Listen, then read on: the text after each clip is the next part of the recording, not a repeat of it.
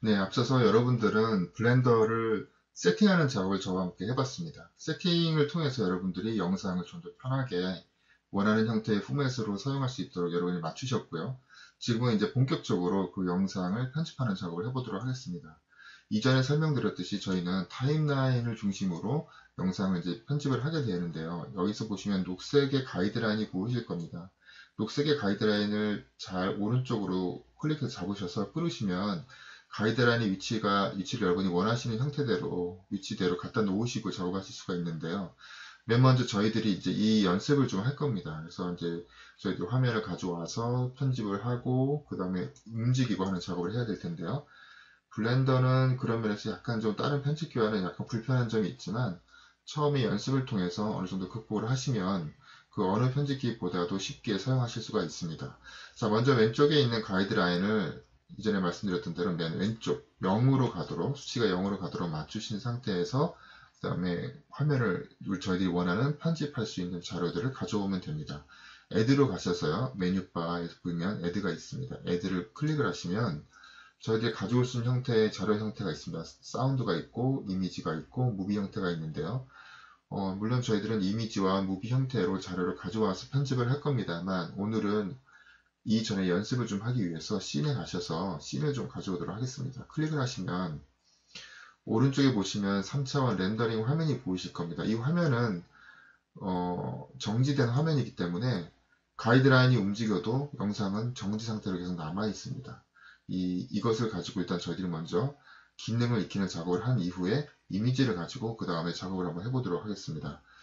자, 다시 가이드라인을 잡아서 맨 왼쪽에 가게 해주시고요. 저에서 이제 여기서 중요한 거는 저희 여기, 여러분들 아시겠지만 여러분이 타임라인에서 맨 왼쪽 클, 마우스를 클릭하시면서 움직이는 모든 곳에는 항상 가이드라인이 따라가게 되어 있습니다. 그래서 0에 갖다 놓으신 상태에서 문제는 밑에 있는 것을 여러분이 끌어 놓으시려고 해도 이게 움직이지 않는다는 거죠. 다시 오른 왼쪽 마우스를 클릭을 하고 해도 가이드라인이 따라오게 되는 거죠. 그래서 이런 부분을 저희들이 이제 해소하고 해소할 수 있는 부분에 훈련을 좀 할 필요가 있습니다. 지금 보시는 채널 지금 바로 들어와 있는 이 씬을 잡는 작업을 할 텐데요.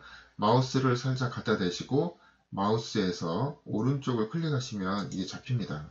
지금은 이 자체가 잡혀 있는 것으로 나와 있기 때문에 하얗게 돼 있지만 오른쪽을 클릭하시는 것과 동시에 전체 화면의 외곽이 하얗게 줄이 보이게 됩니다. 자, 그리고 지금 이 화면에서 저희들이 또 볼 수 없는 부분이 있는데요. 그것은 이 화면의 과연 끝이 어디인가 지금 여러분, 여러분이 처음에는 보시고 계시지만 맨 끝에는 아직 끝이 아니거든요. 그래서 저희들이 한번 끝을 알아보도록 할 텐데요.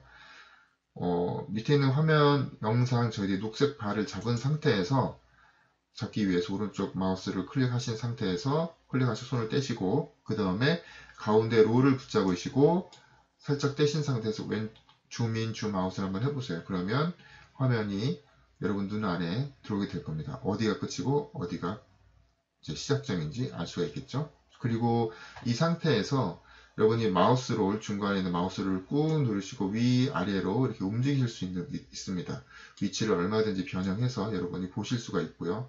그 다음에 같은 방법으로 화면에 가셔서 마우스 롤을 가운데를 중앙을 꾹 누르시고 움직이시면 그 위치를 변형하실 수 있을 뿐만 아니라 놓으시고 마우스 롤을 줌인, 줌아웃 하면 그 구체적인 위치, 좀 디테일한 화면의 영상까지도 여러분이 확인, 언제든지 확인하실 수가 있습니다. 자, 이런 방법이 있고요. 그 다음에 다시 다시 오셔서 마우스 오른쪽으로 잡으시고 그 다음에 이 화면을 줄이고 크기를 또 닫고 하는 방법이 있습니다. 자, 이 화면에서 마우스 그린색에 있는 채널 맨 왼쪽으로 가셔서 뭐 약간 그 화살표 모양의 그 버튼 같은 모양이 보이실 거예요. 지금 꺼져 있는데요. 이 버튼을 켜보도록 하겠습니다. 마우스에서 오른쪽 버튼을 한번 클릭을 하시면 이 바가 켜지는데요. 켜진 바를 다시 마우스 오른쪽 버튼으로 잡으시고 끌어보세요. 그러면 이와 같이 영상을 줄이실 수가 있습니다. 주의하실 점은 이 상태에서 손을 떼시고 그때 움직이셔도 같이 따라온다는 거죠. 그래서 만약에 원위치로 하고자 하신다면 마우스 오른쪽 버튼 한 번 더 누르시면 원위치가 되고요. 다시 오른쪽으로 마우스를 잡으시고 떼지 마시고 누르신 상태에서 움직이는데 손을 떼시고 다시 이 움직이고 있는 이 발을 현재 갖다 대고 있는 위치에서만 정지시키고 싶으시다면 다시 마우스 이번에는 오른쪽이 아닌 왼쪽을 한번 누르시면 정지가 됩니다.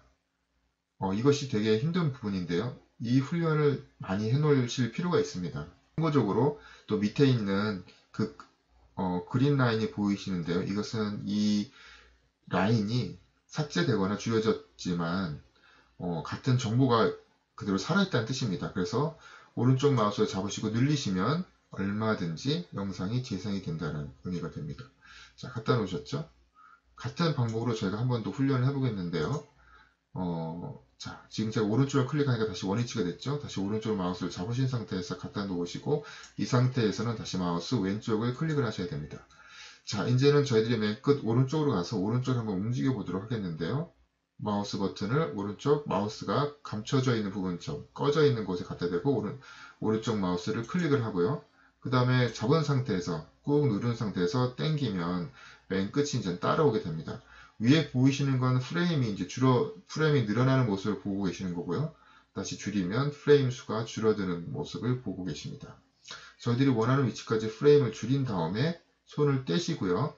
이 상태에서 움직이시면 다시 따라오겠죠. 그리고 원위치를 가게 되시 원하시면 마우스 오른쪽 버튼을 한번 누르시면 되고 이 위치에서 멈추고자 한다면 다시 오른쪽을 누르시면 됩니다. 아, 죄송합니다. 왼쪽 마우스를 한번 누르시면 원하는 위치에서 정지가 됩니다. 가이드라인은 당연히 이 상태에서는 영상을 보이지만 이 상태를 넘어가게 되면 화면이 꺼지죠. 이 상태에서는 지금 유효하지 않은 구역이 되겠습니다. 자, 하지만 그린 녹색에 있는 화면에서 보시다시피 언제든지 재생이 가능한데요. 오른쪽을 클릭해서 잡으신 상태에서 다시 원 상태로 늘리시게 되면 그 위치에서 영상이 다 모든 것이 재생이 되도록 하는 그런 방법입니다. 자, 이 상태에서 한 번 더 오른쪽을 클릭하신다면 다시 앞으로 가겠죠? 거기에 저희는 위치에 갖다 놓고 맨 왼쪽 마우스를 클릭해서 어, 원 위치로 복원한 것과 같은 형태로 만들어 놓겠습니다. 자, 이 연습을 계속 여러분들과 저희는 계속 하게 될 겁니다. 이 부분들이 대단히 중요한 부분이고요.